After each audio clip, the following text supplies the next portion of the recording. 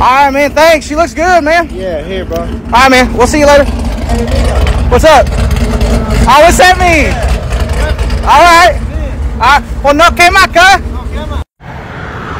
Why do they put so much tire shine on my truck?